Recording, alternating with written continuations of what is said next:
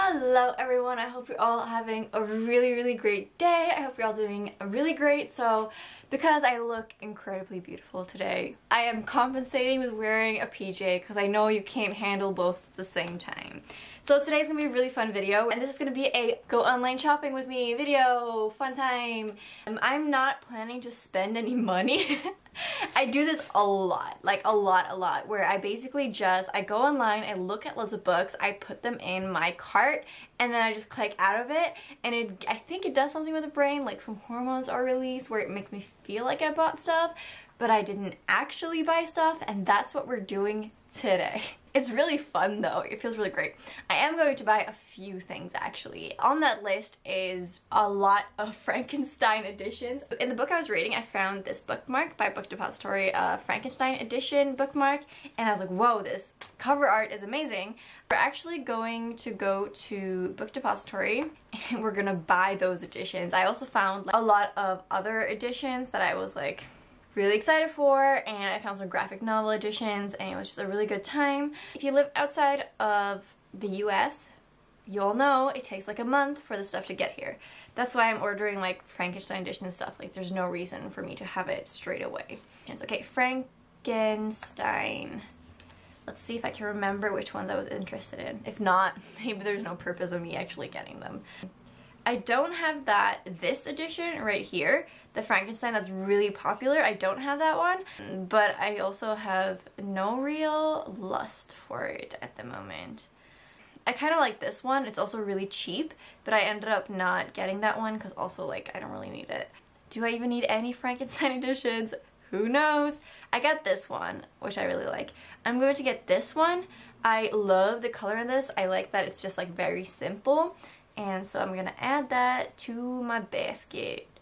Continue shopping. Oh, I love this Frankenstein edition. I just pointed my with my finger. I love this edition so much. My favorite one that I have, but I have it. So the other one is this one. This is a paperback edition of Gris Grimly's Frankenstein graphic novel. I am not sure if it's good. Whoa, I already have stuff in my cart? There's four items in my cart.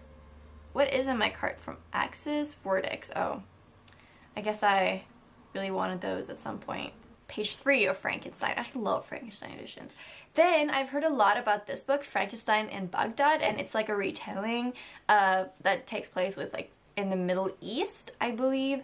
I am going to get that one. I think it was up for some sort of price. If possible, it's even like the poster price or something. And then we have, this one's a little bit more expensive, but it's about like uh, how Frankenstein has affected different types of culture and uh, impacted society. And I really want it. It is not an actual Frankenstein edition, but I'm just really excited about it. Then we're gonna scroll for a bit. See, I know there's one more that I was really excited about but we'll see if I find it. There is one that I am looking for. I feel like I've scrolled past it because I didn't see all these yesterday when I also was scrolling past it. Oh, this is the one. That's the Oxford Children's Classics Frankenstein. This is the one that I was actually going on Book Depository to get. And then I ended up wanting all these other stuff. This one is kind of nice, but I'm not going to do that. I really hope that these are actual Frankenstein editions because last time I ended up getting a Frankenstein comic, which I am going to read though. I really like that, but I just wasn't expecting it, you know? Oh, what is this? The Making of Mary Shelley's Frankenstein. No, I can't. Mary and Frankenstein. That, there it is. Okay. Oh, just like the cover art of this one, I, I'm just really excited about it. Oh, it's also hardback. Damn, that, that explains why it's so expensive. Okay, so this is my book depository shopping cart for now. It's a lot of Frankenstein editions, but I feel like it's more general and it's not so much like specific. There's only one Frankenstein edition, which is, no, two. Mostly shop in Book Depository. There is also my science fiction bookstore back home. Science SF, Bokhandeln. Uh, they don't I don't think they ship worldwide, but I'm thinking they ship throughout at least, what is that called? Europe.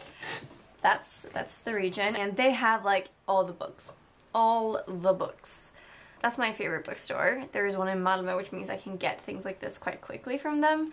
And they ship to Denmark, which I'm really happy about. But honestly, if you come to Sweden, you have to check them out because they have like... Hmm, what is, oh, they have, oh my god. Sorry.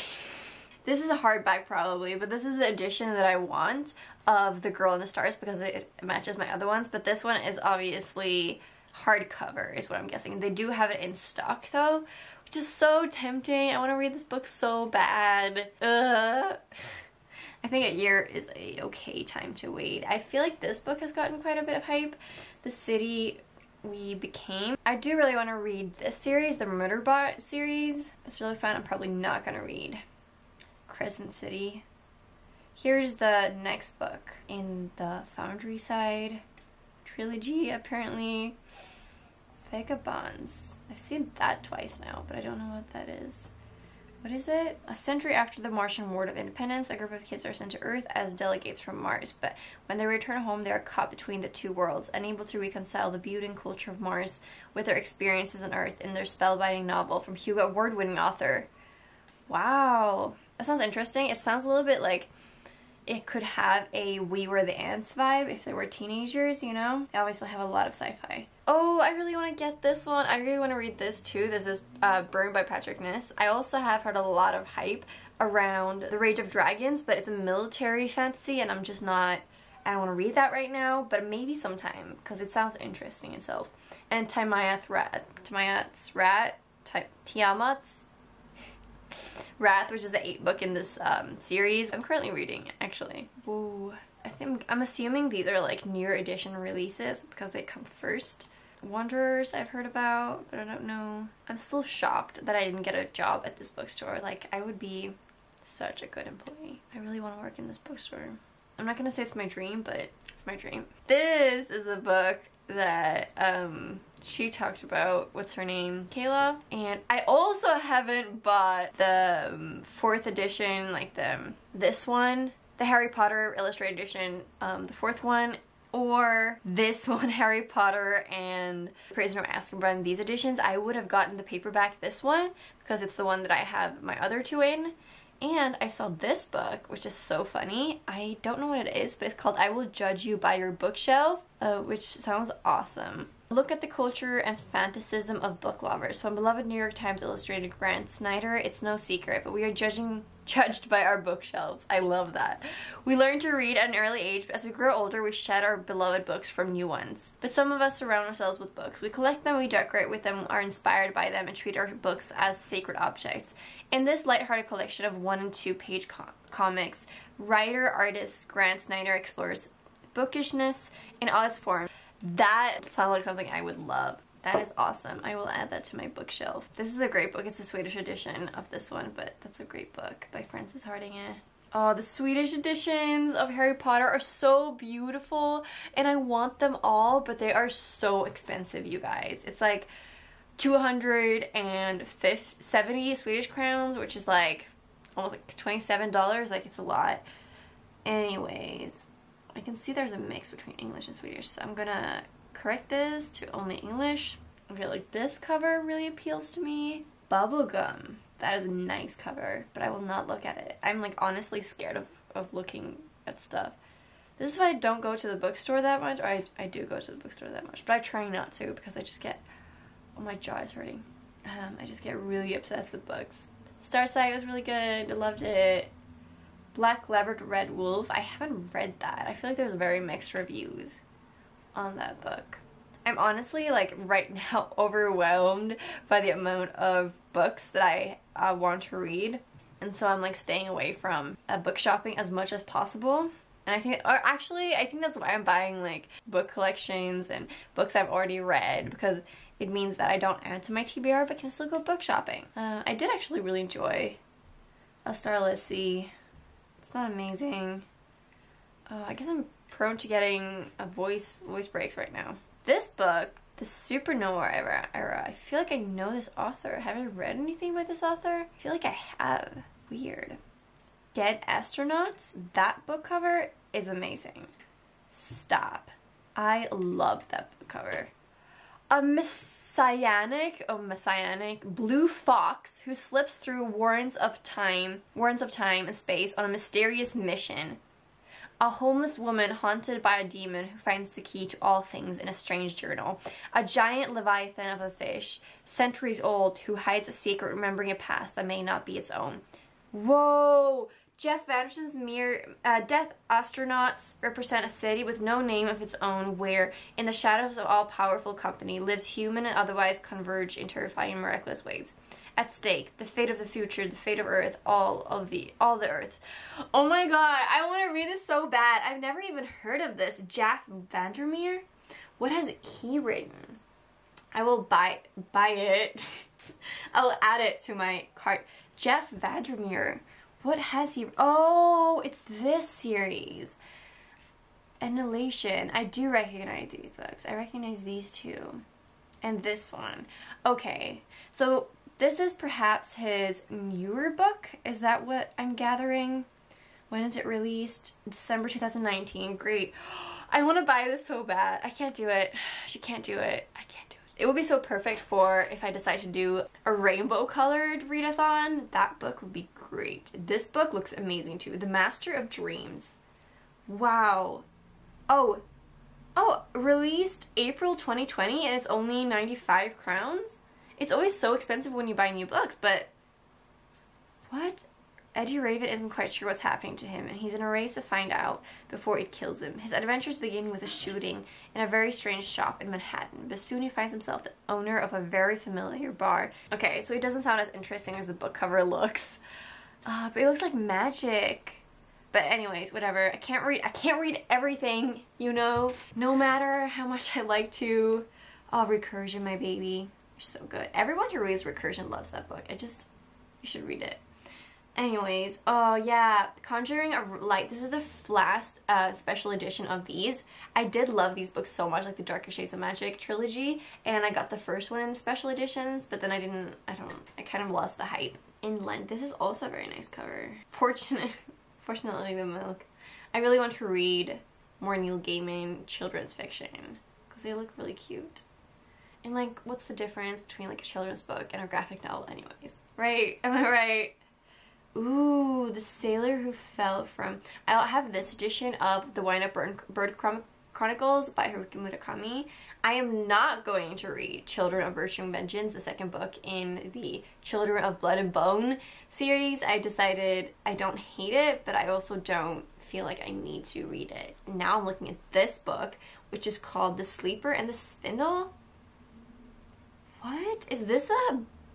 Is this... This is by Neil Gaiman. And it's a, illustrated by Chris Riddell. It's a collection from Rags and Bones. Oh, a tale with... Of both Snow White and... What's that called in English? Sleeping Beauty. With dark magic. Whoa, I, I want this Whoa, yay. Okay, that looks super good. I'm gonna add it Wow, I'm gonna add that to my shopping cart. The worst part is like I'm gonna wake up tomorrow and thought that I actually bought these books and become super disappointed when I don't. That looks awesome. I love sci-fi covers like this. Like sci-fi covers out in space and like that kind of illustration. Also like this one I actually have at home chilling effect and I still haven't read it. This one looks really interesting. Little Eyes, a novel. I love like when there's neon on covers. It's just, this is also a recent release. In Samantha Schweblin's wildly imaginative new novel, Little Eyes, Kentukis have gone viral across the globe. I don't know what that is.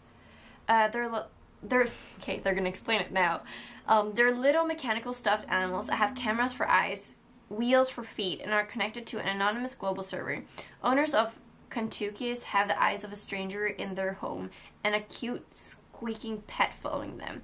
Or you can be the Kentuki and voyeuristically spend time in someone else's life, controlling the creature with a few keystrokes. Through Kentuki's, a jaded Croatian hustler stumbles into a massive criminal enterprise and saves a life in Brazil. A lonely old woman in Peru becomes fascinated with a young woman and her louche voucher, louche lover in Germany, and a kid with no mother, Antigua, finds a new virtual family and experiences snow for the first time in Norway. This sounds great. Wow, I really want to read this too. We're going to add it to my TBR or to, to my shopping cart. I'll probably just add these to my TBR later and then maybe I'll remember these books. Oh, there we got it. The Wind Up Bird Chronicles. I really don't like this edition of the Starless Sea. The Bard's Blade, I feel like I recognize that. Killing Commendatore, it's so good. What is that? Oh, this is how you lose the time war. Amazing. Read it. I think it was up for some sort of price. I hope it won. I don't know. Oh, Memoirs of a Space Traveler. That looks really good too. I love that cover.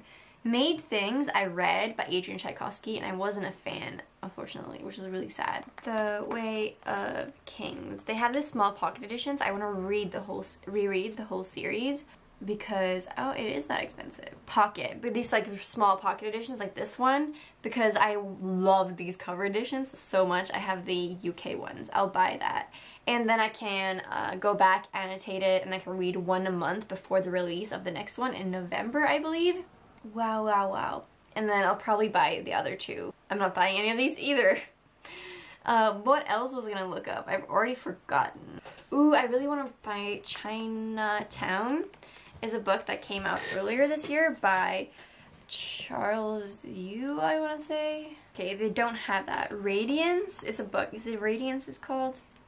Radiance. I feel like that is the book. This search engine is really bad. Like, I feel like the books that I'm looking for aren't coming up. Um, what is her name? Catherine. Here we go. I read this book and this book by her, but she also has Radiance. Oh, it was right there. This one that I really want to read. I think it's her most famous book, and this cover is beautiful. I will buy that as well. Ooh, Marie Lu is coming out with another one. Burn. Mm, I mean, we'll see if I get that ever. Ooh, this looks fun. It looks like young adult though. But that's a nice cover. It's called This Covenant Won't Break by an author called Isabel Sterling. Oh, it's the second part in These Witches Don't Burn. Oh, I do recognize that cover. That makes sense. I'm not interested in that that cover though. Oh man, I'm so biased. What even? I think that's it for this shopping right now. Oh, I really, really want to read Dead Astronauts. That sounds so good. All these books sounded so good. I want to buy them all right now. But that, my friend, is a lot of money. And she's going to focus on the books she needs to read first, and then I will add these to my Goodreads TBR instead. That is it for this video. I hope you enjoyed my window shopping video. I hope you guys are able to read some books, buy some books, support some independent bookshops, and I wish you all the best. Take care, everyone. Bye!